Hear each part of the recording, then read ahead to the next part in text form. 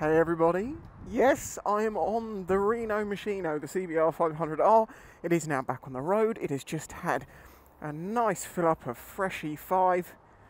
My god, that was expensive. £15.12, eight and a half litres. That's a, the 177.9 by the way. This is basically like the secondary shakedown run if you're new to the channel, this is my other half's bike. She had to work from home during COVID, well, still is working from home now. Watch it. yeah, she is still working from home. In fact, everything's gone permanently that way, which is actually great for us. But unfortunately, where she wasn't riding much, her bike just sat there for a while, and then I noticed that the fork seals were leaking oil. Where when I replaced them, I discovered the forks are full of water. By the way, there are videos on all of this, every single part of it like taking them apart, fixing them, everything.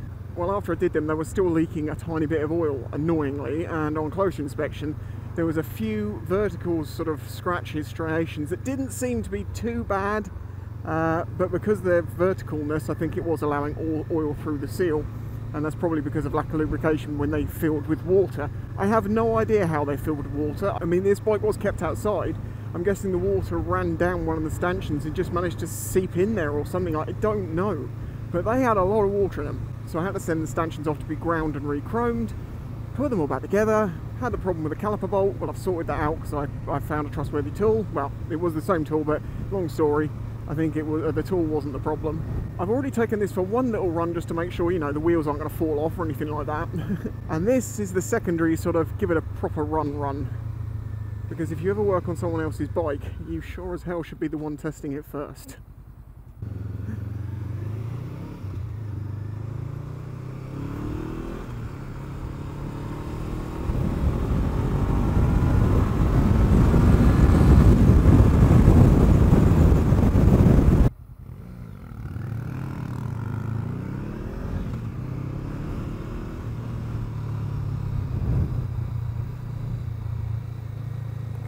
I'm trusting these tyres considering they've not been lent over on for a while.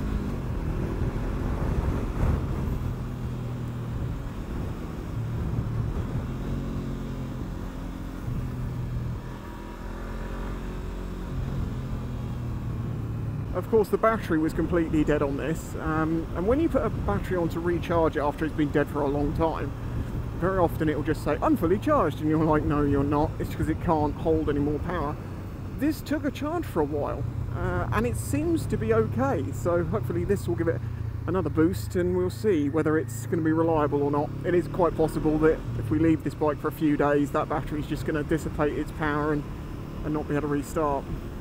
In which case it's a new battery which is not the end of the world because I don't think this one's been replaced in quite a while.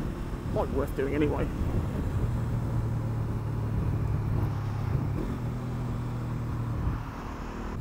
I'm now doing 38 miles an hour on a 70 mile an hour road for absolutely no reason. There is literally nothing slowing these cars down. Oh, another thing I've sorted is on my DRZ, if you remember I had that LED light, which when I went for MOT, it was fine pattern-wise for the UK, which is surprising because it came from America. However, it was just a little bit too low and I just couldn't get it high enough for it to pass MOT with the way it was. So slapped in the, uh, the stock light to get it through its MOT and then I've made, well I was going to make some entirely custom brackets to fit the light uh, because the amount of adjustment, it's basically got like a, a, bolt that goes straight through and a bolt that's in a U-shaped slot and you can slide it backwards and forwards, you, you know, this sort of thing. Well as I, I was going to make a whole new bracket and then I suddenly realised why? Why not just get a Dremel and extend that slot because that's all it needs is that little bit extra. And sure enough, I did that and everything's fine now. Well, it seems to be anyway. It's definitely come up enough. I was going to do a video, you know, fabricating the plates and doing all that, welding on some nuts, as you know, just captured nuts and stuff. But um, yeah, I, I, I, I didn't need to, and I don't think you want a video of me just dremeling a hole slightly longer and going, oh, done. but it's good to get that light back in the DR. Not that I really ride at night anymore. I really very rarely ride at night. I don't, I mean, I do like it, as I talked about in a video you know, a while ago, it's, it's nice that you can see people coming around corners before they come around corners and stuff, but I just tend to ride now when I'm making videos and I can't really, well, videos aren't great when they're done at night, so by default, I don't tend to ride much at night anymore. Why? It is very windy.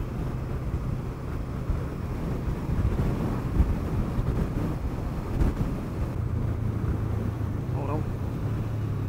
Yeah, we'll go down here as that's looking nasty.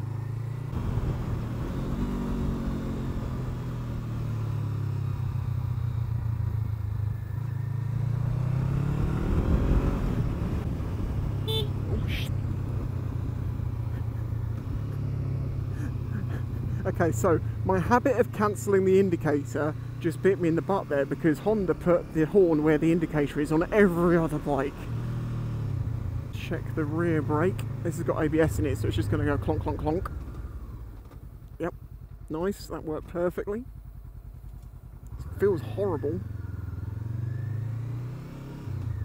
If you've never used a motorcycle with uh, ABS on the rear brake, you basically push hard and then it, well, it, it, doesn't apply any more pressure but what you do feel is a smack smack smack smack smack back into your hand into your hand into your foot if it's in your hand you're doing it the wrong way mate and it's actually quite impressive uh, so it's good to see the rear brake is working well this is so exciting being stuck behind a pretty old lady in a Range Rover driving at 20 miles an hour I mean I get it it's wide but my god Oh, thank God. When you have to speed up for corner entry because someone's going that slow, you know something's going wrong. Sorry, I'm ranting about other people's driving. I know people can get people can go as slow as they like. Can they? Really? I mean, birdies. Um, people do say, well, I say people, people on Facebook groups, whenever anyone points out, oh, this always happens when you know there's a speed camera locally in your local Facebook group someone points out, oh, there's a speed camera, watch out, people, and then people start saying, oh, well, if it wasn't for people speeding, they wouldn't need to worry about it, blah, blah, blah, which is the classic old argument. But anyway, I digress. They then get into this argument of saying, well, the speed limit is a maximum, not a target. I agree with you, that is entirely true. However, when I was taught to ride a motorcycle, I was told to be within five miles an hour of the limit because if you're not, you could be considered to be hindering traffic causing an obstruction, not showing confidence in the use of your vehicle, you know? And I mean, I can understand maybe if you're doing 60 in a 70, but when you're doing 20, 19 in a 30, 30 is basically walking pace. And you're like, God damn, that's some fast walking you'd be doing. I know people will say that anyone going that much under the speed limit is just a, it's just an, a slightly overly cautious driver. I'm like, I agree with you, but at the same time, it's those sorts of people that still just I mean they're only doing 19 miles an hour but they just continue to plow through through things at 19 miles an hour. I've seen it. I don't think it shows being careful. I think it shows a fear and a lack of uh, confidence and control of your vehicle and that is something which I don't think you should have. If, you, if you're not entirely confident on a vehicle in a vehicle, controlling said vehicle, you shouldn't really be on it. And I'm not saying like, you know, people who are learning on 125s and stuff, that's, oh, Oh, I suppose, yeah, then I say you don't want to be too overconfident. If you're overly confident, then you're more dangerous than anything. I don't know. I just competency, that would, that's all I want to see.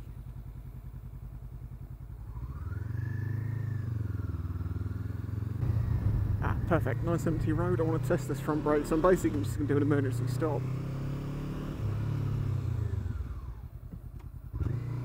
Good.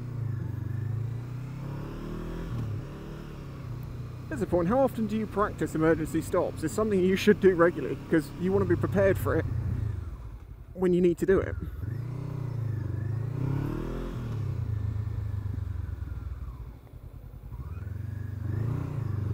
It's clear. Try another one. Yeah. For a single disc, the brakes on this are actually alright. There's reasonable feel they're nice and, you know, they really do grip. It's a big disc, it does help.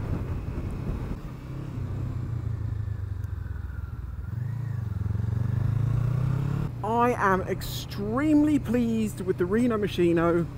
The forks are now great, the brakes are feeling great, everything's good. It's now just for Reeno to get, obviously she's not ridden much in the past couple of years, so we're going to have a few little sort of round the blocks and then a bit further and a bit further. She can ride, but it's just, it's good to get your um, your basic skills back before you start pushing it.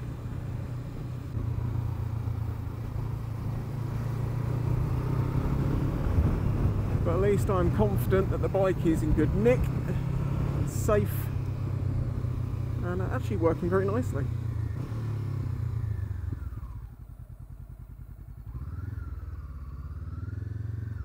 Yes, I'm ending at Tesco's. Just hit the subscribe button because I'm nearly at 100k. Like, we're about 500 and something off. It's insane. Uh, so, yeah, thanks for watching. The Mino Machino is now a Greeno, which means like go go. Nice. Catch you in the next one.